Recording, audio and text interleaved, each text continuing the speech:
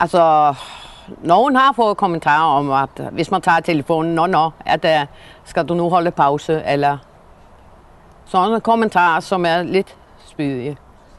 De seneste dages afsløring af hjemmehjælpernes snyd i København gør det ikke helt let at være hjemmehjælper i denne tid. Skandalen har sendt bølger af reaktioner, også til Ishøj Kommune.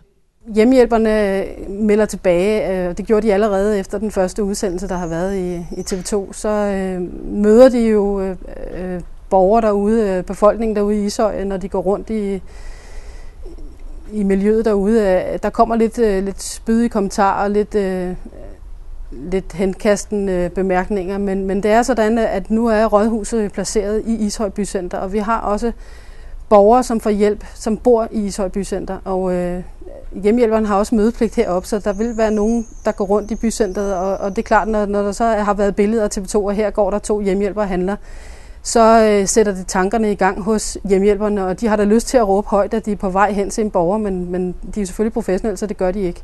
Men, men øh, de har lagt mærke til, at der kommer også bemærkninger. Især er hjemmehjælpernes håndholdte computer kommet i søgelyset, de såkaldte PDA'er.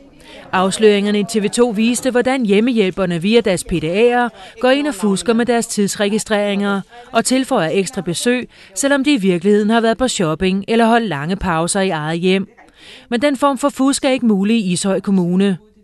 Jeg vil sige, at Ishøjs borger kan være ganske rolig. Det er ikke muligt at snyde øh, med PDA'en og det, der er blevet vist, at de kan lave ekstra besøg. Og Det er ikke muligt her. For her har alle hjemmehjælpere også en PDA, men det er suverænt en planlægger og en leder, der laver dagens kørelister.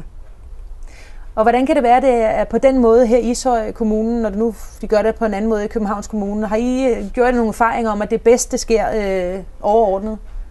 Jeg vil sige det sådan, at, tidligere øh, der havde de en mobiltelefon og en liste, øh, papirliste, de gik efter, men der var teknologien følger med, så er det en PDA, og vi har, har valgt, at det er sådan, at øh, vi fortsætter med en planlægger, der, der har overblikket, der sidder og laver listerne og i samarbejde med en leder. PDA'en er en kombineret telefon- og håndholdt computer, som er et uundværligt arbejdsredskab for plejerne, både før, under og efter et plejebesøg. Vi tjekker, hvad vi skal lave næst. Altså om det er lavet om på det, som er, vi i forvejen måske troede. Så man er faktisk nødt til at kigge hver gang, at man går ud fra ind, til at se, hvad man skal næste gang. Eller derfra. Så det er ikke nok bare at kigge én gang, før vi kører hjemmefra. Og hvad kan det være for nogle oplysninger, hvis du sådan skal give nogle eksempler? Det kan være en oplysning, at pludselig er en af mine borgere måske indlagt. For eksempel. Eller kommet hjem fra hospitalet. Det kan være, eller nogen af kollegerne er syge, så, så, er vi, så skal vi jo dække en, øh, deres lister. Og så kommer der en ekstra ind på, på den måde.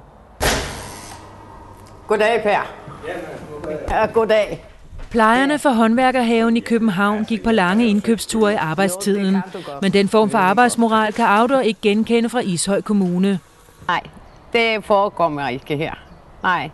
Men øh, vi ser mange hjælpere i, i, altså i centret til dagligt, fordi at vores arbejdsplads ligger i centret. Vores, vi har en, øh, altså det er en bolig der, som ligger inde i centret, og vi har nogle borgere der, som er, også har brug for hjælp. Så det er ikke fordi, vi er oppe og handler. Hvad er det, I oplever lige nu, øh, altså med al den her fokus, der er på hjemmeplejen og, og de dårlige eksempler fra København? Altså, hvad er det, I møder nu, når I er ude på jeres øh, arbejdspladser? Altså, nogen har fået kommentarer om, at hvis man tager telefonen, nå, nå, at uh, skal du nu holde pause, eller sådan kommentarer, som er lidt spydige. Derfor bliver der nu også på fællesmøderne talt om, hvad plejerne kan gøre for ikke at vække mistænksomme blikke. Det, der har været op at vende, det er selvfølgelig, at vi er placeret i Ishøj Bycenter, at øh, de har deres kitler på, øh, og nogen tager dem med hjem, øh, kitlerne. Øh, og øh, der har vi selvfølgelig snakket om, at, øh, at man skal være opmærksom på, at befolkningen af gode grunde ikke kan vide, om de har fri nu, om de afspacerer, og derfor skal de tage deres kittel af, når de går ud og handler.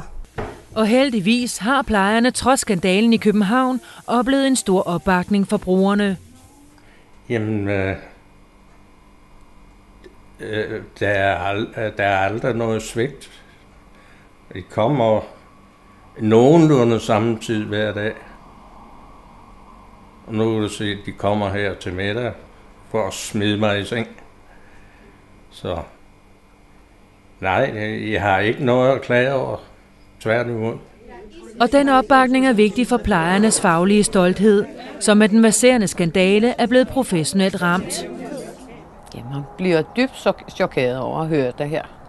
Fordi at, øh, det burde ikke, altså, det burde ikke høres til hjemme nogen steder.